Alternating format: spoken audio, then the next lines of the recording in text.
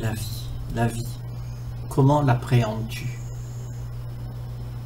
Est-ce que tout ce qui se passe autour de nous, ce qu'on voit, est-ce que c'est vraiment là où ça se joue? Parce que si tu vois la vie comme elle est, alors c'est pas avec tes yeux que tu vas pouvoir le comprendre. Les yeux physiques sont la mémoire de tout le passé. Elle a enregistré tout ce qu'il y a eu et quand elle le revoit, elle s'identifie avec ça. Parce que nous voyons la vie à travers le passé, à travers ce que nous avons appris. Donc si tu vois la vie comme ça, tu certainement la subiras. Parce que elle n'est pas réelle quelque part. Elle est ce que tu projettes. Et c'est ce que tu vois, en fait. C'est ce que tu as projeté. Parce que ce que tu projettes, ce sont les mémoires que tu as d'elle. Donc quand tu vois la vie, tu vois, tu dis ça c'est un arbre. Ça c'est ma mère, ça c'est mon père. Et là, tu subis la vie. Parce que tu n'es pas en train de la vivre. Tu es en train de la subir parce que tu ne la vois pas à partir d'un endroit où elle jaillit. Cet endroit, c'est en toi. C'est la conscience. La conscience se joue en soi.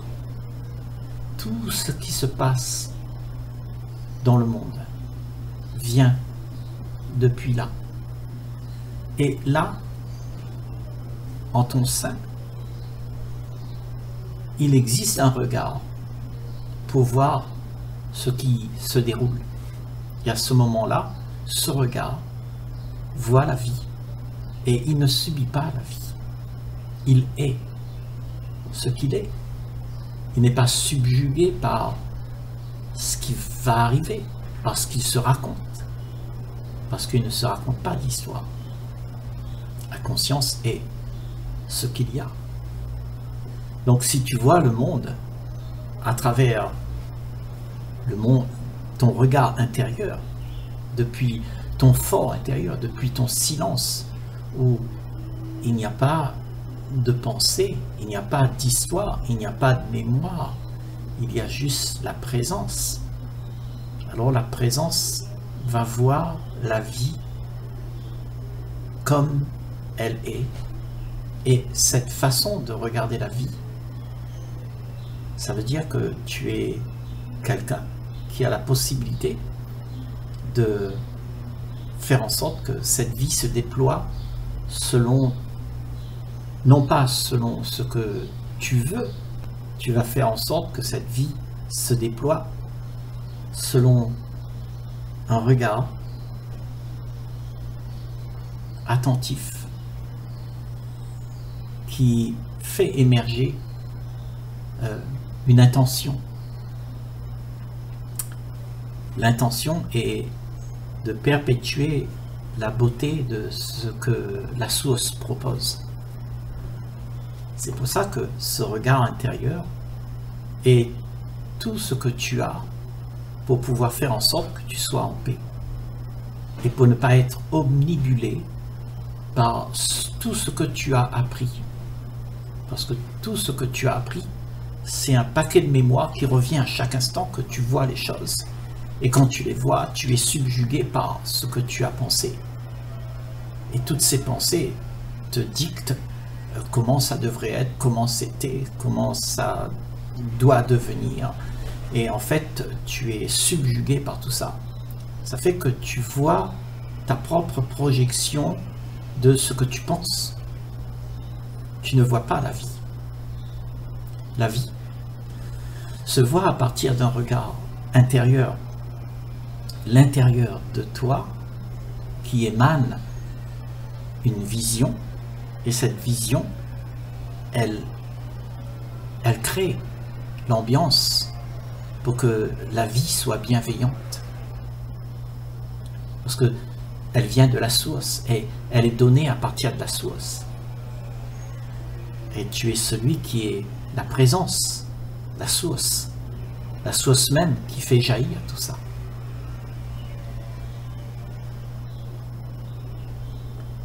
C'est bizarre d'entendre ça, non Pourtant, si tu réfléchis bien, réfléchis bien avec moi, tu vas voir que c'est simple. C'est pas quelque chose d'étrange. C'est une réalité pure et simple. Tu es ce que la vie est. Et cette vie vient à partir de l'intérieur de toi. Il n'y a rien qui vient de l'extérieur. À l'extérieur, c'est juste quelque chose qui est posé. C'est comme une photo qu'on a prise, on l'a mis là. Et quand tu vois la photo, ben tu vois ce que tu connais. Parce qu'on t'a appris que ça, c'est quelque chose c'est un paysage, c'est un arbre, c'est un ceci, c'est un cela. Donc tu vois la photo de ce qui a été projeté. Mais quand tu regardes euh, le monde depuis l'intérieur, tu fais la photo. Et c'est toi qui fais la photo. Elle n'est pas remémorée, elle est faite d'instant en instant. Et c'est à toi de faire cette photo comme le cœur te le propose, non pas ce que, tout, ce que tu connais. Parce que ce que tu connais, en fait, tu vas subir. Tu vas subir, tu vas vivre euh, un impact. Parce que tout ça va t'impacter, va te demander de réfléchir, de sortir tous les mémoires que tu as pour pouvoir comprendre. Et en fait, tu ne peux pas comprendre euh, la vie juste de cette manière-là. Ça, c'est le mental. Le mental qui dicte la vie, qui comprend, qui essaye de mettre en place euh, une signification. Euh, et tout ça, c'est quelque chose qui a été fait depuis des milliers et des milliers d'années parce que tu regardes la vie à partir de ce que tu connais, à partir de tout ce que tu as appris. Mais quand tu vas dans le silence, où il n'y a rien d'appris, il n'y a pas de mémoire, il y a juste un silence. Tu es silencieux parce que il n'y a pas la pensée.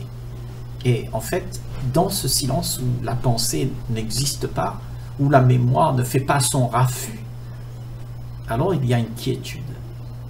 Et cette quiétude, ce silence, c'est ce que tu es. Et c'est à partir de là que la vie, elle est projetée dans, le, dans l'extérieur. Et à ce moment-là, ce que tu es, c'est celui qui est le projecteur. Tu es le projecteur tu mets en place ce qui est parfait, ce qui est amour, unité, harmonie. Tu crées toi-même l'ambiance dans laquelle les choses sont en ordre. Tu ne crées pas le désordre. Parce que le désordre, c'est tes pensées qui le font. Parce que tu répètes. Et tu fais toujours la même chose. Et tu t'attaches à l'habitude. Et tu continues à dire toute ta vie que je crois comme ça, je suis comme ça, je devrais être comme ça. Et en fait, tu te limites. Tu te limites à une vie que tu as cerné et que tu as imagé que tu as fait en sorte qu'elle puisse perdurer ainsi. Donc on s'attache. On s'attache à tout ce passé qu'on a, toutes ces idées que nous avons sur la vie. On s'attache. Parce que ça nous semble sécurisant.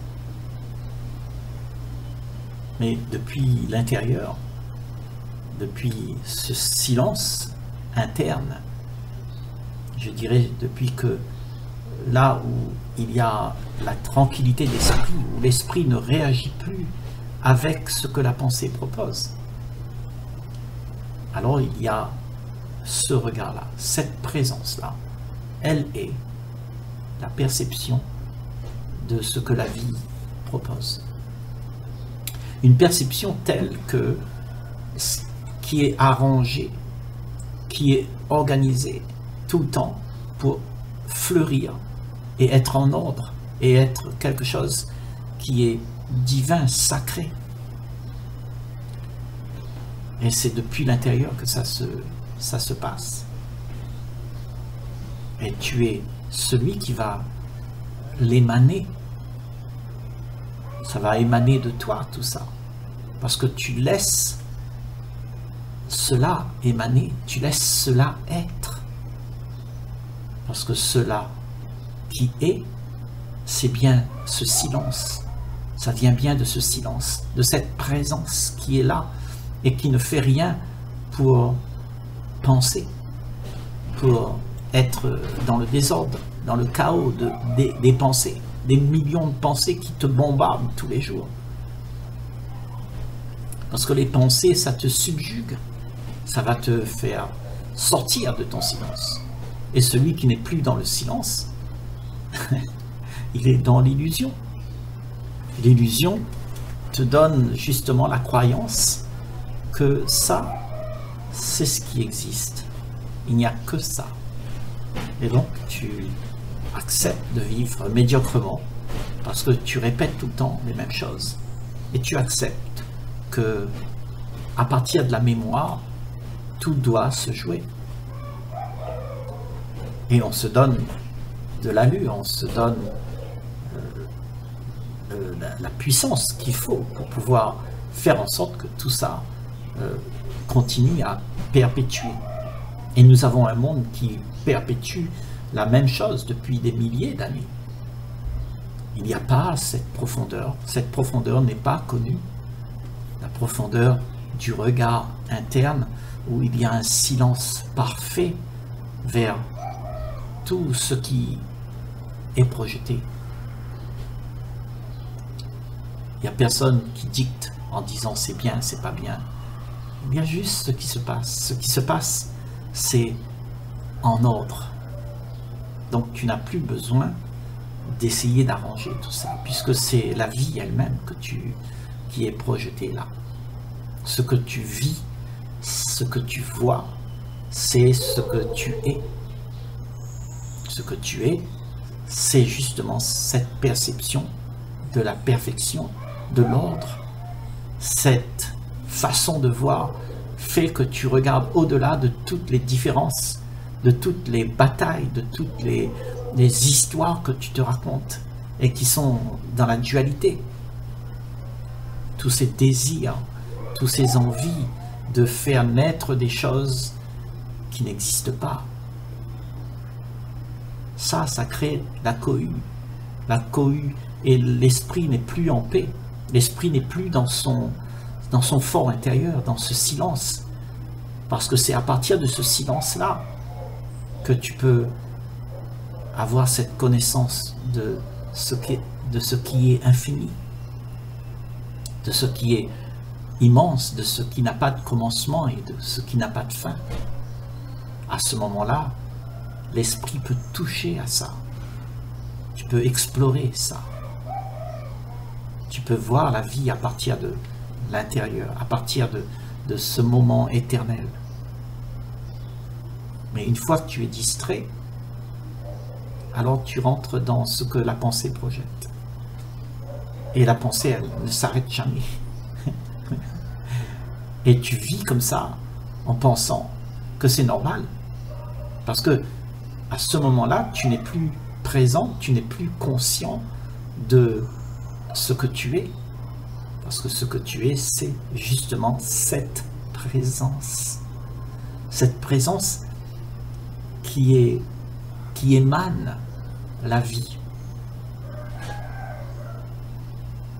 Et quand tu émanes la vie, alors ce n'est pas ce qui est vu qui compte, mais c'est ce qui est mis en place.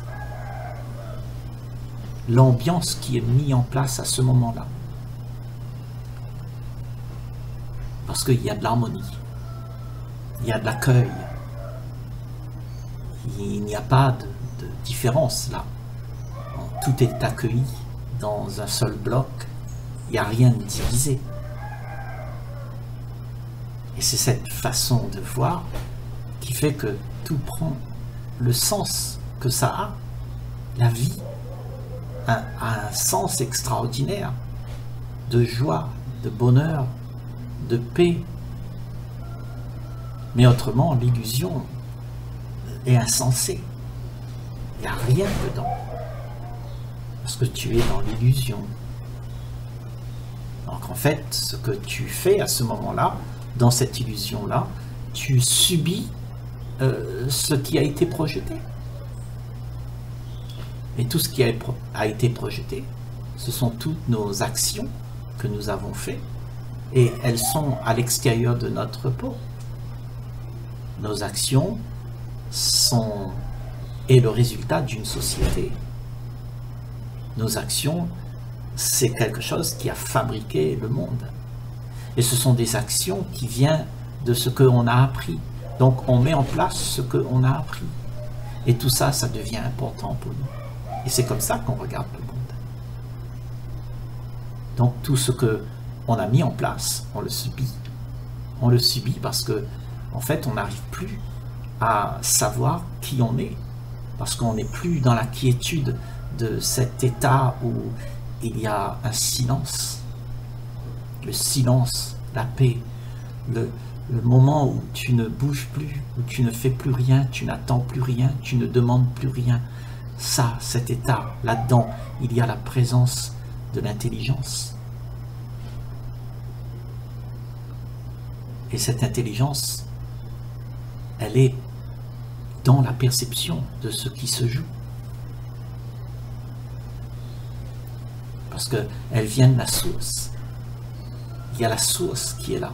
C'est-à-dire ce fort intérieur, dans ce silence total où il n'y a pas le monde.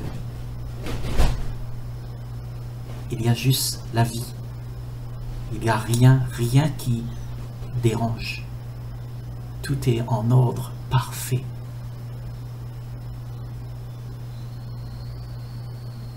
C'est là où tu habites pour de vrai. C'est ça, ta maison. Mais si tu t'identifies, à la pensée que tu as d'hier et que tu toute cette référence, ces schémas de pensée auxquels tu t'identifies, ben alors tu seras présent là-bas dans ce que les pensées proposent. Tu te seras identifié à ce qui doit exister. Mais en fait, ça n'existe pas. C'est une projection. C'est ce que la mémoire fabrique. C'est ce que nous, les hommes et les femmes, avons décrété être la vie. Et quand on a décrété que ça, c'est la vie, alors on le subit. Parce que on ne sait pas comment être le parfait, puisqu'on n'est pas présent en tant que parfait, en tant que euh, sublime. Et le sublime ne peut être là que si le silence est fait. Dans ce silence émane le sublime. Dans ce silence émane l'ordre, la perfection, l'harmonie. Et c'est la source même de tout ce qui est créatif. la source vivante.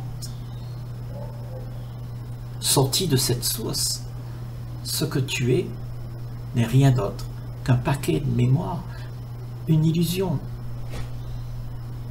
Tu te donnes d'être ce que tu voudrais exister. Et en fait, là, dans cet espoir, dans cette projection que tu te donnes de faire exister, alors là, il y a une grande illusion. Parce que là, tu n'es pas présent. Il n'y a plus rien là. Il y a une illusion. Oh, la source dans laquelle tu habites, dans laquelle tu es l'ingrédient qui fait émaner toutes les choses. Tu es assis sur cette source et cette source coule à travers toi. Parce que tu es la source. La source vient de l'intérieur, de cette zone silencieuse où rien, rien ne peut l'empêcher d'être.